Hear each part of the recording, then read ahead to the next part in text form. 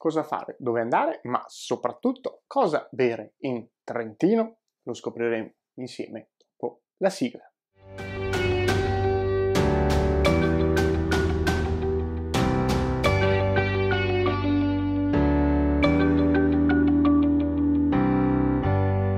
Il territorio del Trentino è facilmente riconoscibile perché corrisponde alla provincia autonoma di Trento, in Trentino Alto Adige.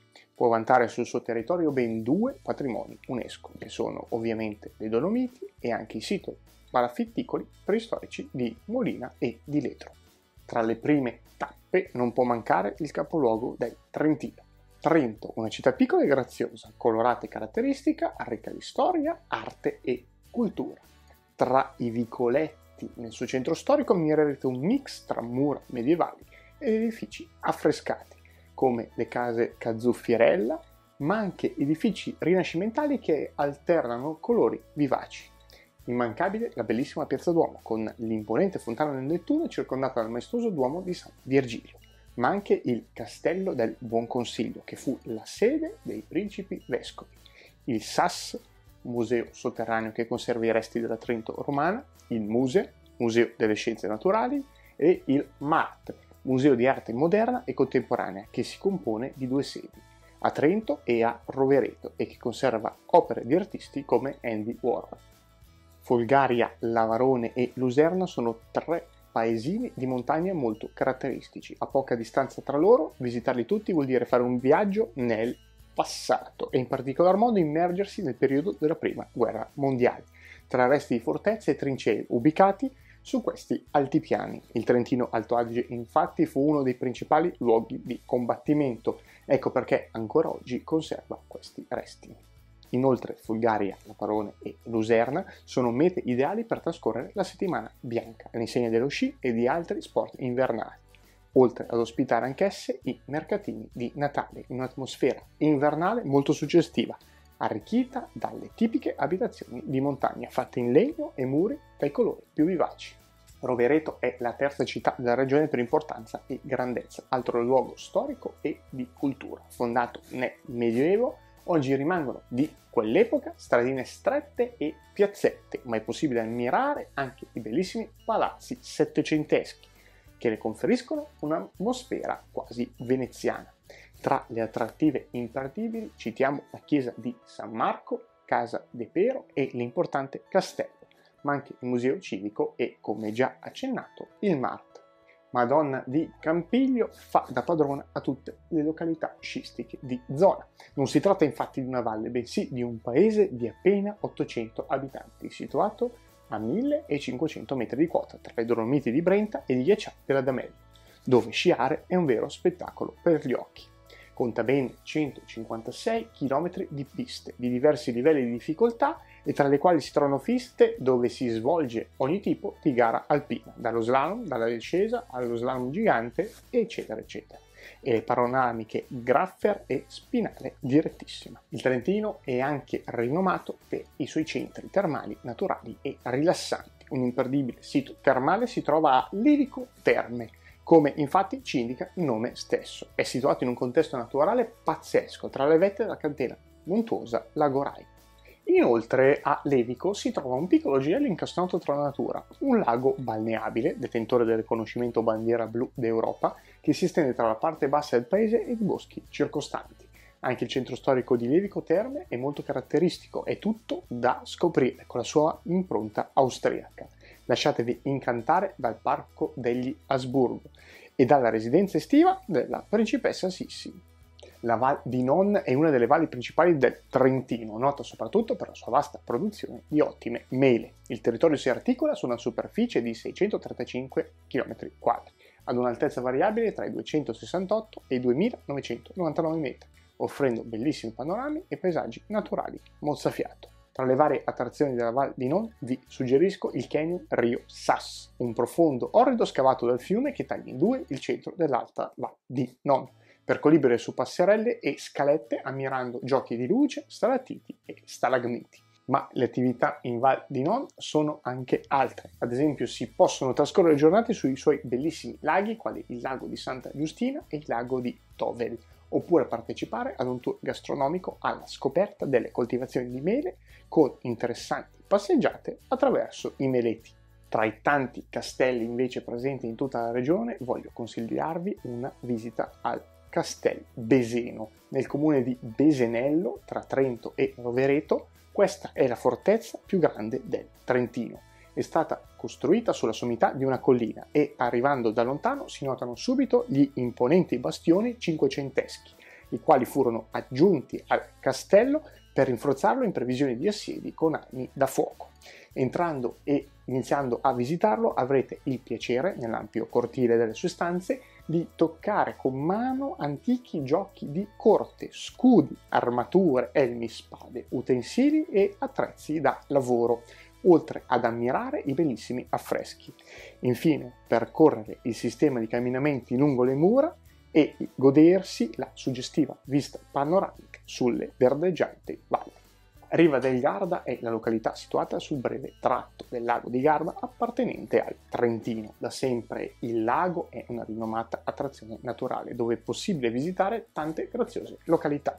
Tra queste anche Riva del Garda che offre diverse opzioni per visitatori come mini crociere sul lago attraccando in paesini vicini quale Infano e Torbo ad esempio, oppure tour enogastronomici tra vigneti e uliveti, dei quali la zona è molto ricca, che termina solitamente con degustazioni dei prodotti locali.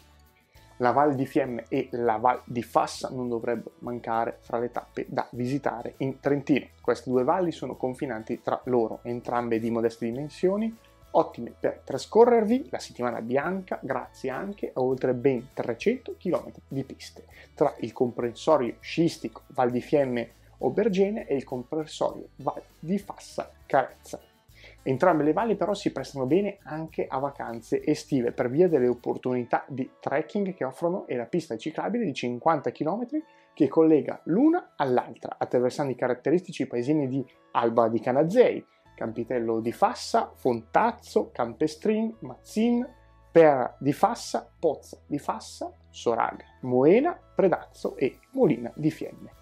In estate non è da lasciarsi sfuggire il Paglio del Brenta, una meravigliosa festa a tema medievale dove si esibiscono giocolieri, arcieri e sbandieratori proprio per simulare un autentico evento di quel tempo. Culmine della festa è la Zatterata sul Brenta, l'evento che si tiene ogni anno durante l'ultima settimana di agosto. In inverno sono ovviamente imperdibili i mercatini di Natale, diffusi in tutta la regione a partire dalle città principali fino alle città secondarie e vari paesini. Da fine novembre all'inizio di gennaio vengono allestite una serie di casette in legno dall'offerta ampia e variegata, dall'abbigliamento all'artigianato di ogni tipo fino alla gastronomia allettate da eventi e musica. Ci si immerge nella magica atmosfera natalizia tra oggetti legati alle festività e profumi tipici del Natale, quali quello del vin brûlé, del bombardino e della cioccolata calda, assaporando pietanze tipiche come i canederli, i tortelli di patate e l'immancabile strudel.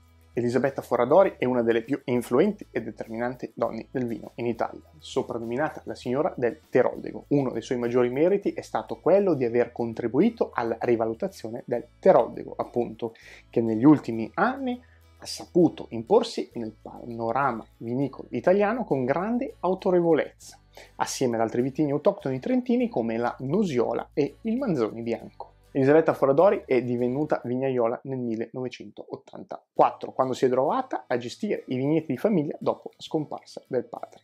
In tutti questi anni Elisabetta ha saputo portare ai massimi livelli il connubio tra passione e competenza, diventando un punto di riferimento imprescindibile per molti vignaioli trentini e soprattutto per gli amanti del buon bere.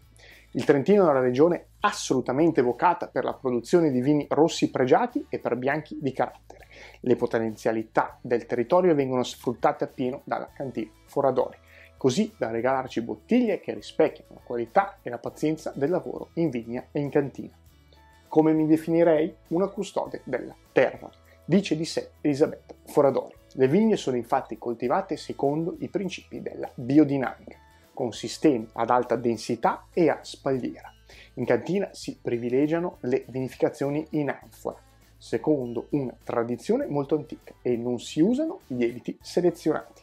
La filosofia produttiva è perfettamente riassunta in questa frase di Elisabetta. Cogliete le sottili differenze esistenti in natura, ascoltandola per preservare la sincerità del carattere dell'uva nell'espressione del suo luogo d'origine. Nascono così dei vini che definirei artistici, espressivi e territoriali. I vini bianchi sono ricchi e complessi.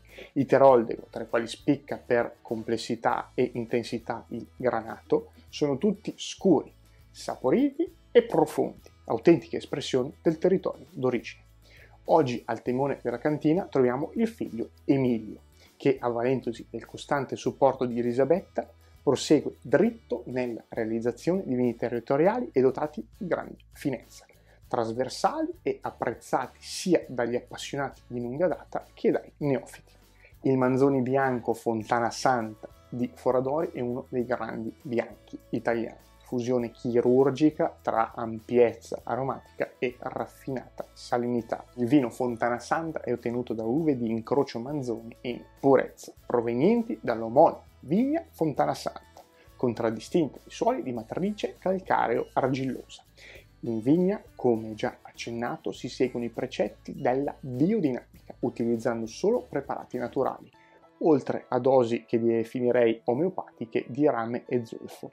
Mentre in cantina si procede con fermentazione alcolica spontanea in vasche di cemento e macerazione sulle bucce di circa una settimana. Il liquido poi affina per 12 mesi in botti di acacia prima della messa in bottiglia, senza subire chiarifiche e filtrazioni. Prima del consueto assaggio vi leggo velocemente una scheda tecnica del vino. Il Fontana Santa della cantina Foradori è un vino bianco, denominazione Vigneti delle Dolomiti IGT. I vitigni utilizzati sono Incrocio Manzoni al 100%, il titolo alcolometrico è del 12%, il formato della bottiglia in degustazione è di 75 centilitri e la temperatura di servizio consigliata per questo vino oscilla tra gli 8 e i 10 gradi centigradi. Il vino si presenta in una veste cristallina di uno straordinario giallo dorato di una bellezza e di un'intensità con pochi uguali e nel mio bicchiere direi che consistente. Passiamo alla successiva analisi olfattiva.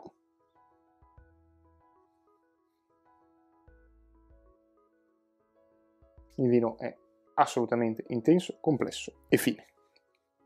Le note che subito mi saltano al naso sono quelle fruttate, quelle floreali, quelle minerali, una bellissima sferzata minerale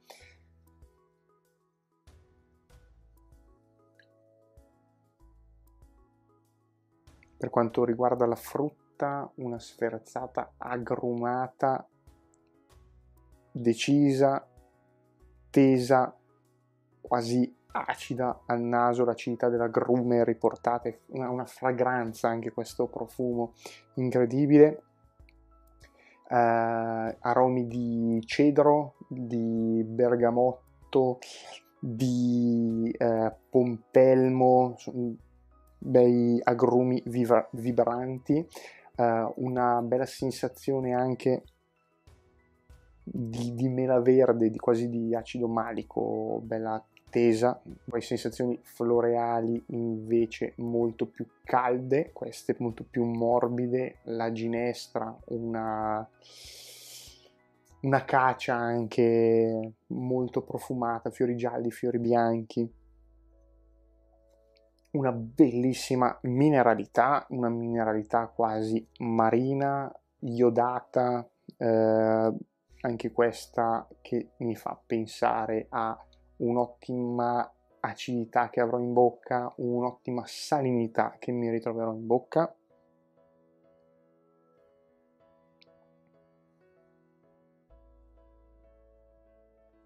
Una delicata sensazione quasi di uh, vaniglia, uh, una vaniglia molto dolce, una sensazione anche quasi eh, di,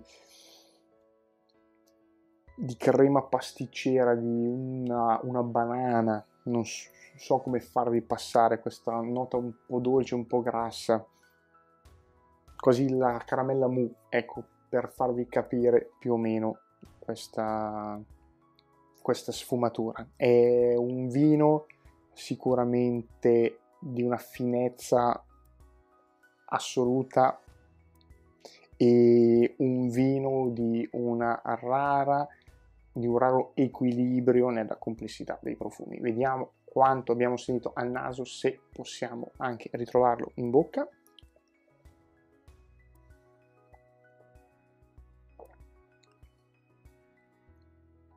Il vino è sicuramente secco, è sicuramente caldo, una bella nota pseudo-calorica, è un vino morbido per essere un vino bianco, è un vino assolutamente fresco ed è un vino assolutamente sapido.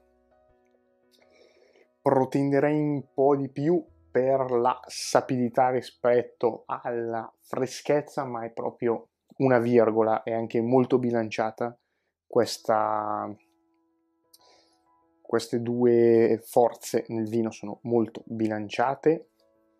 Ritrovo tutti i profumi che ho trovato al naso, li ritrovo in bocca, li ritrovo arricchiti, c'è un bellissimo finale ammandorlato che lascia la bocca quasi borderline sulla, uh, sull'amaro, uh, pulisce via quella morbidezza che si ha all'impatto in bocca perché il vino come lo mettete in bocca è intenso così come in bocca così come al naso. È un vino fine anche in bocca ed è un vino assolutamente persistente. Tutti i profumi retronasali i gusti che abbiamo in bocca li ritroviamo anche dopo molti secondi anche che vi sto parlando li ancora tutti.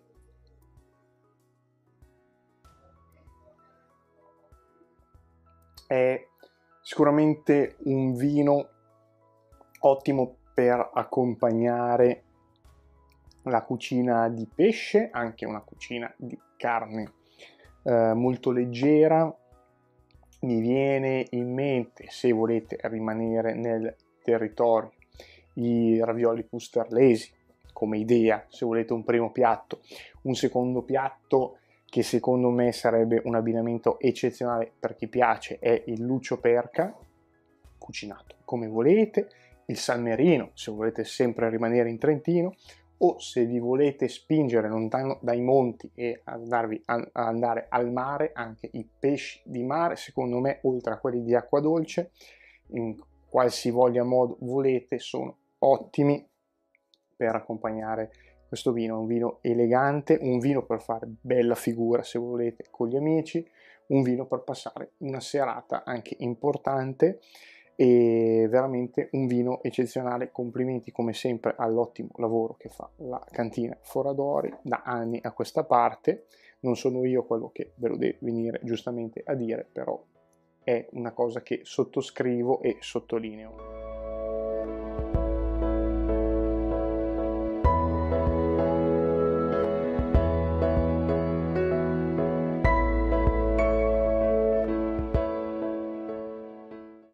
Bene, come sempre non mi resta che ringraziarvi, ricordarvi che se il video vi è piaciuto di lasciare un mi piace, se non l'avete invece ancora fatto di iscrivervi al canale e di attivare successivamente la campanella per rimanere sempre aggiornati sulle prossime uscite. E come alla fine di ogni video vi ricordo che l'importante è che siate assetati ma che soprattutto siate curiosi. Salute!